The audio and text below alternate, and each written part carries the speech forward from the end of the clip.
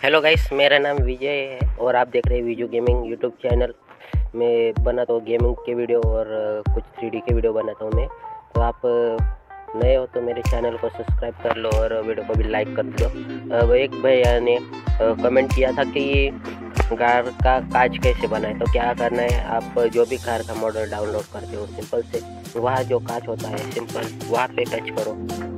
कांच के ऊपर टच करना है आपको और बाजू में जो ट्रांसफॉर्मेशन का नाम दिख रहा है उसके ऊपर क्लिक नहीं सॉरी मटेरियल के ऊपर क्लिक करना है। वहाँ जहाँ पे आपको टेक्चर का ऑप्शन दिख रहा है उसके नीचे ट्रांसपेरेंसी जो ऑप्शन है उस उसके ऊपर जाना है और सिंपल से ट्रांसपेरेंसी पे कर देना है। आपको जितना कम जितना एडजस्ट करना है आप, आप एडजस्ट कर सकते हो। देख सकते हो जो कांच है उसके आर पार दिख रहा है।